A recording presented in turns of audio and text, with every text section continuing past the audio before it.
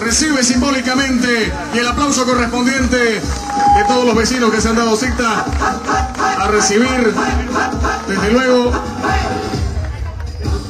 Mi mayor anhelo y deseo es que este proyecto de las gallinas se convierta en el proyecto de la gallina de oro para que dé a conocer a todos los ciudadanos que hoy reciben y queremos y rebotemos hacia otros. Sabemos que llegarán a 100 mil estas gallinas, a mucho más quizás. Y nosotros tendremos una buena alimentación, una alimentación algo mejorada. Y entonces el ciudadano, el ciudadano a pie responderá, su inteligencia mejorará y también participaremos en ayudar a las autoridades que hoy se esmeran por hacer esta, ayuda para nuestras comunidades.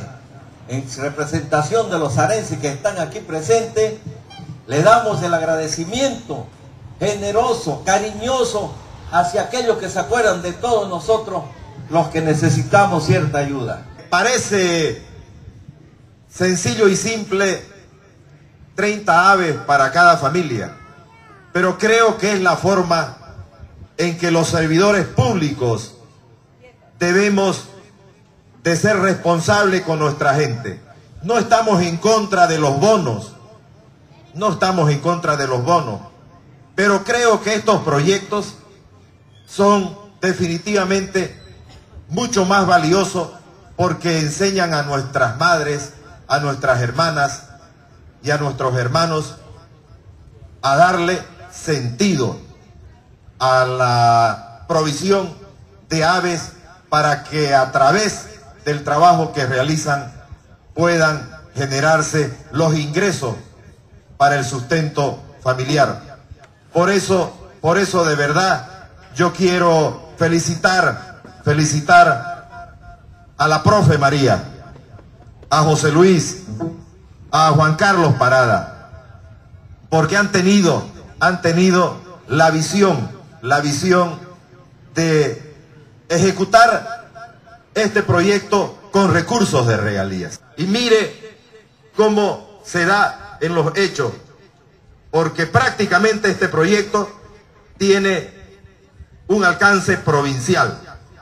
Y esas 25 mil aves que fueron entregadas en Santa Rosa ya son una realidad. O las 8 mil aves que fueron entregadas en Colpa Bélgica de igual forma. Y ahora se inicia la entrega de esas aves a Portachuelo, a nuestros hermanos de los Cusis y de La Laguna. En septiembre, para ser más preciso, se va a iniciar la electrificación Perotó y La Cancha. Dos millones setecientos mil bolivianos para que esa gente de verdad tenga lo básico para que de ahí en más pueda generarse una serie de actividades, porque la energía eléctrica siempre nosotros consideramos que es el cimiento del progreso. La energía eléctrica no solamente es para la tele o para la luz domiciliaria, es para actividades productivas y por eso es que nuestra gente de Perotó y la cancha va a tener la oportunidad de mejores días.